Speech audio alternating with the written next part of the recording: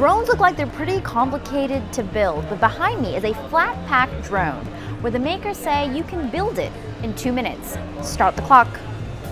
Costing between $250 and $350,000 for the complete system, Tekever's AR4 Evolution drone may be flat pack, but it still has quite the punch. The drone can fly up to two hours, has a range of 12 miles, and a cruising speed of around 34 miles per hour.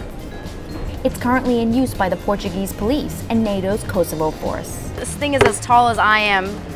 Tekever claimed that the AR4 can fly through wind and light rain, although the drone failed to fly on Tuesday at Farnborough Airshow due to technical difficulties. The instructions, I think, confuse me even more.